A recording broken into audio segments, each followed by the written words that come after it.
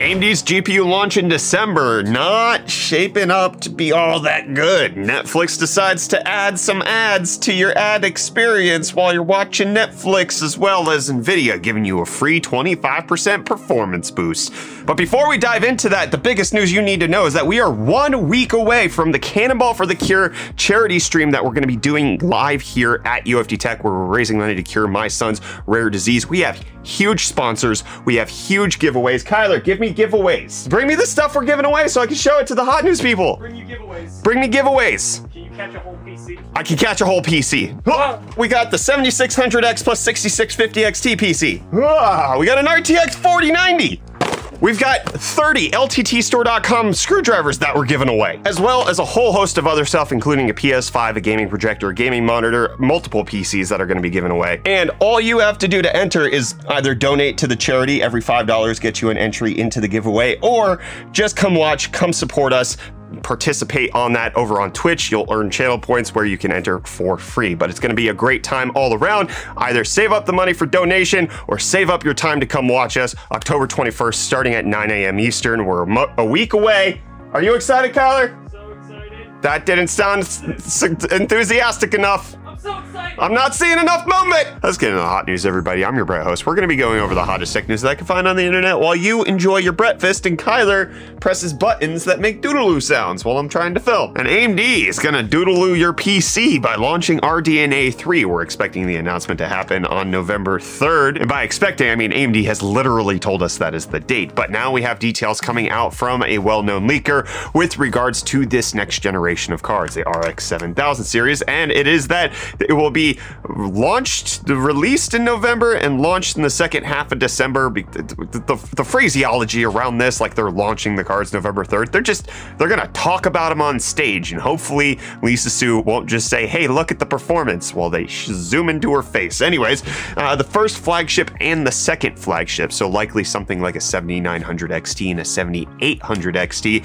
However, the top performance is difficult to compete with the 40, and I hope the price will not be as confident as Ryzen. And then somebody asked, the performance can't compete. Is that in regular gaming or is that in ray tracing? And it turns out that it's in both. So it might be that AMD is actually not going to be getting better at ray tracing to the point where they're competitive with NVIDIA. And especially after seeing the ARC launch from Intel and seeing how good those GPUs were at ray tracing, it actually would put AMD at the bottom of the pack if they don't make substantial improvements. So that is kind of a bummer to hear the next generation RDNA 3 cards might not be able to keep up with NVIDIA's huge leap in performance that we've seen in the RTX 4090 in both regular rasterization scenarios as well as in ray tracing scenarios. And with DLSS 3.0 notwithstanding, especially because AMD obviously has FSR and they have their own upscaling technology. NVIDIA is kind of in a class of their own with DLSS, but it does look like the RX 7000 series, at least according to this primary initial report. Obviously, we have to wait until AMD comes out on November 3rd and shows us benchmarks, but maybe don't get your hopes up and instead look for a really good price to performance competitor. I mean, AMD launched the 6900 XT at $1,000 back when things were bad. Maybe if they know they're not going to compete with the big dogs, they launch the 7900 XT a little less than that, like $800, $700. Could we get back to the time of flagship GPUs being 700 bucks? What do you think, Kyler? Nope. Nope. Kyler says no. Money doesn't go down. Money only goes up. Mm -hmm. Money only goes up. But there are some details coming out about the next gen cards from AMD and the fact that it should have DisplayPort 2.1, which is unannounced at this point.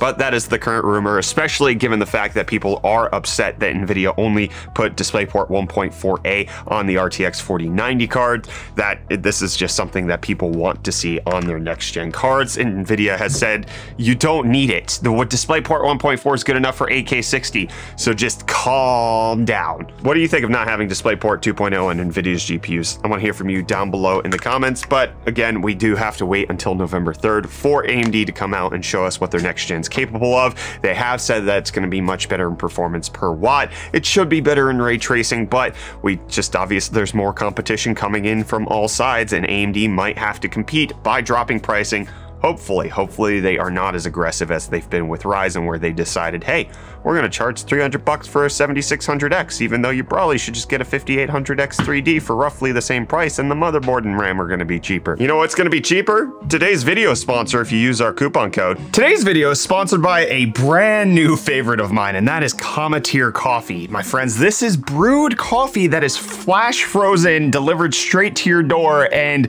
honestly is impeccable. This is probably one of the best ways to enjoy delicious coffee in just under a minute. So Cometeer coffee is unlike any other coffee experience that I've had because it's flash frozen to lock in freshness, which means that it's delivered to you in the best state possible. And they come in recyclable capsules that make it so easy for you to make your coffee every morning or whenever you need it. For me, because I drink my coffee black, it's as simple as taking one of the capsules, running under it a little bit of water so that the puck can actually slide out into my coffee glass, and then just pouring in water from my instant kettle. And then bam, I'm off enjoying my coffee in under a minute. And Cometeer comes in a wide variety of different coffee types for you to enjoy, whether you want a light, medium, or dark roast, or if you want to drink decaf, you can do that as well. My favorite one that I've been drinking is the Mocha Java, which is super smooth and then also has a hint of chocolate behind it, which is just absolutely delicious. And again, one of the most important things for me is just how quickly this delicious cup of coffee can be done. I don't have to do pour overs, I don't have to do a French press. I can make it just so quickly by boiling my kettle, which I have to do every morning to prepare my son's breakfast, and then using the leftover water to prepare my cup of coffee. So there's no need to go to a coffee shop because this will save you time and money. And it's a fantastic setup. You get monthly shipments to your door, you select which type of roast that you actually want, and then you just keep your capsules in the freezer and take it out right before you're ready to go if you want hot coffee, or you can melt it in the fridge the night before in case you want something like iced coffee. But best part is, for a limited time, you can get $40 off your first two orders using my code UFD at cometeercoffee.com forward slash UFD tech. If you've been wanting to try Cometeer, you want to get into this, you can use my link and my code again, which is cometeer.com forward slash UFD tech and enter code UFD to save $40 off your first two orders. Big thanks to Cometeer for sponsoring today's video and for the coffee. It's this is fantastic. And you know what that coffee gets me thinking of? Crypto stocks. That's right, Bitcoin. Uh, it, it had a bad moment. It was down like below 19,000. It crashed to like 18,294, a little bit less than that. Uh, but then it's rallied back up. It, nothing's really changed. Ethereum also suffered a similar fate, but again, really flat on the day. And Dogecoin also very flat on the day. And Reese, flatly deliver me my UFD deals. I want no inflection in your voice.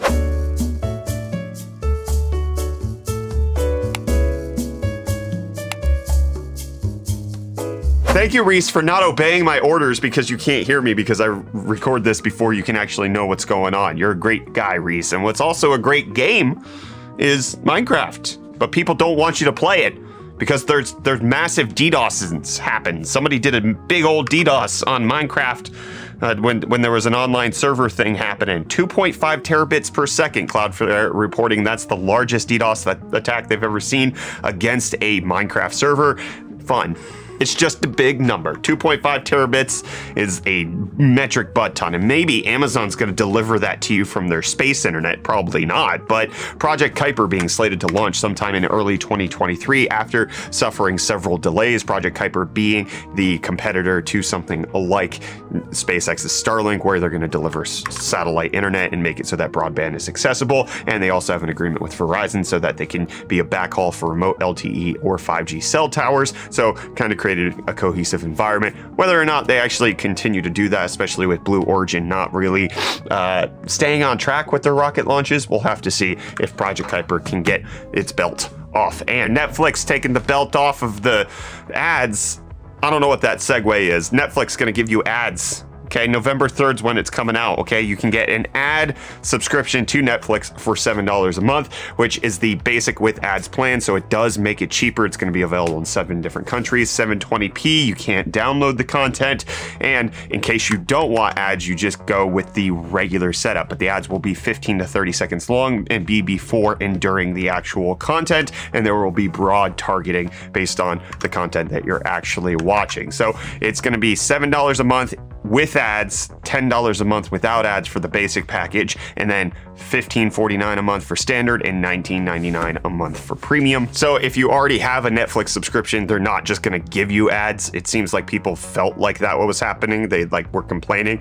You have to choose this one, and it's just making their regular plan cheaper. It's not like they're not taking anything away from any consumer by introducing this. They're just making it slightly more affordable. And what's not going to be affordable is a new video game because they're all really expensive. But Spider-Man Miles Morales is coming out to PC on November 18th. That getting announced. It's going to have all of the latest features, DLSS 3.0 support, unlocked frame rate, ray tracing, all of that goodness November 18th in case you want to pick that up. And in case you want to pick up a Founders Edition RTX 4090, well, NVIDIA is going to have a new way for you to do that. This was actually one of the reports we were seeing with the card was that there were no Founders Editions available at Best Buy on launch day, at least according to everything I saw on the internet, but that could be because NVIDIA is looking to roll out their Verified Priority Access program, which will allow you to actually get in line to buy this at Best Buy. But the trick is you actually have to sign into GeForce Experience, but this will be available at Best Buy in the United States, Scan in the United Kingdom, NBB in Germany and the Netherlands, and LDLC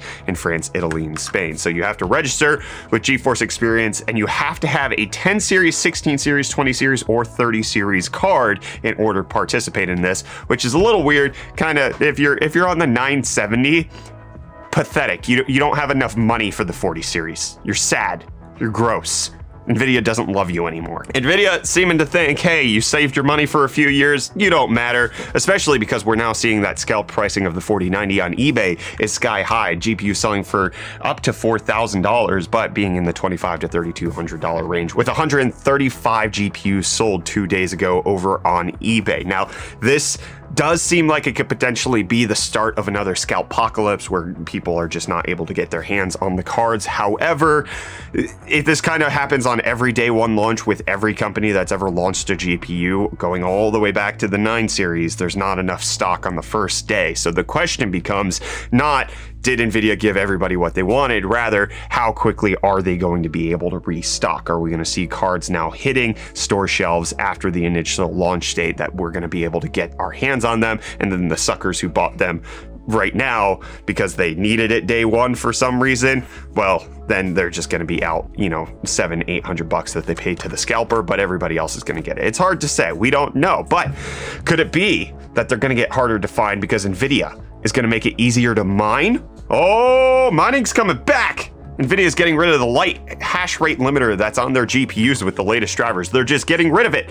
They introduced this back sometime last year in order to make it so that GPUs, when they detect that they were working on a mining algorithm, they would slow down to about half performance. And now in the latest driver update, people are testing the 3080 Ti as well as the 3060 actually working at full hash rate. So NVIDIA proving what I've kind of been saying all along is that they just decided to arbitrarily limit their customers on what workload they got to do with the products that they bought. And now that Ethereum has gone proof of stake rather than proof of work, they're going to remove it, but that still means that the cards can be used for mining. It just like it solved a pain point to like address public outcry, but was like a bad consumer move. Like, why take away a feature that I have paid for just because you want to? And it didn't help the stock situation. People were still buying NVIDIA GPUs hand over fist. They didn't get easier to buy after LHR came in. It's a whole hullabaloo complication, which the 4090 seems like it might be because der8auer over on his YouTube channel breaking down 4090 cards, finding on a Gigabyte one, there were NVLink fingers that could have potentially been there. So we could have had multiple GPUs, but it's gone. It was, it was, I mean, people don't use multi GPU. The software support's not there. I understand why people are upset that it's gone, but the just vast majority of people who would use it just aren't. In reality, it's a small subsect of people who are upset about it. Kyler, are you upset about it? He's upset about everything, and he's going to be happy that NVIDIA is giving you free performance, though, again, with those latest drivers that we're talking about. Substantial improvement into DX12 performance, up to 24% better in several different games across the stack of their RTX GPUs. So, Assassin's Creed Valhalla, 24% better. Call of Duty Vanguard, is that a real game? Is that a game that matters? 12% better. Cyberpunk, 20% better. So a large improvement coming from the latest drivers in case you want faster performance for free. But in case you want to buy a new GPU, well, we're getting refreshes of the RTX 3060, which was going to have GDDR6X memory, and the RTX 3070 Ti.